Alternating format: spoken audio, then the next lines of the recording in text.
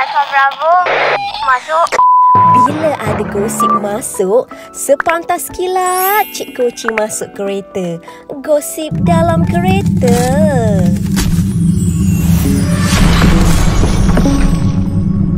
Kedekut like dan share tau. Assalamualaikum dan hola-hola semua. Selamat datang ke Cik Koci Channel. Jom-jom hari ni kita nak cerita mengenai Fina nampak lebih matang dari kes pergaduhan ini. Ini respon Aida Jebat sepakat tak mahu respon. Aha, okey. Saya mohon maaf adik saya enggan beri sebarang ulasan kerana banyak hati yang harus dijaga. Atas nasihat polis, biar pihak bertanggungjawab menjalankan tugas.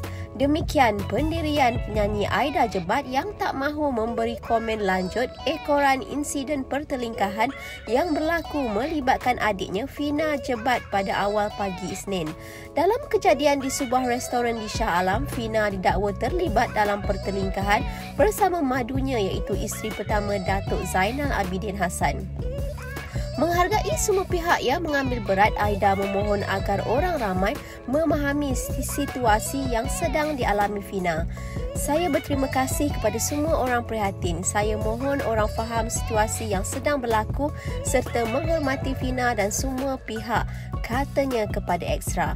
Aida juga memohon doa agar perjalanan mereka di program Family Duo dipermudahkan.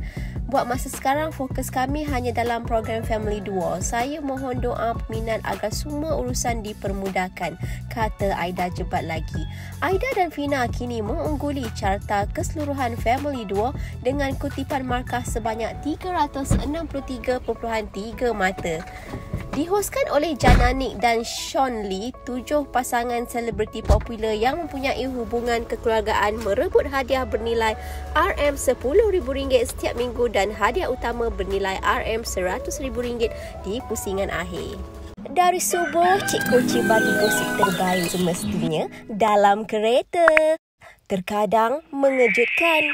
Sampailah ke malam. Jangan kedekut like dan share tau. Hashtag sepantas kilat.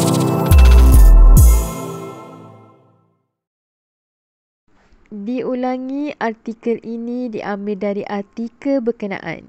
Sebagai penggemar media hiburan, harus berhati-hati dalam memilih sesuatu isu.